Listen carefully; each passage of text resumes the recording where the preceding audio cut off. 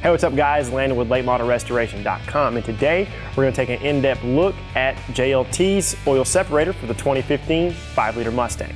These oil separators are a direct carryover from the 11 to 14 Coyotes and will bolt directly to your 2015 5-liter Mustang. They'll be available in a clear or black anodized version and will come with Ford OEM PCV connections. These oil separators are a super simple install, so let's go ahead and jump over here to our 2015 Triple Yellow Mustang GT and show you how simple that install is.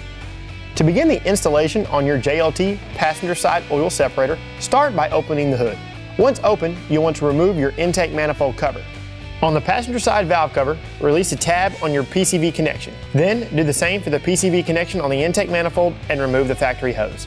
When installing your JLT oil separator, Connect the straight hose to your passenger side valve cover and the hose with a slight curve will go to your intake manifold. We just finished up the install on our JLT oil separator. It was super simple and you can do it right at home. For more 2015 Mustang videos, be sure and subscribe to our YouTube channel or head over to latemodelrestoration.com.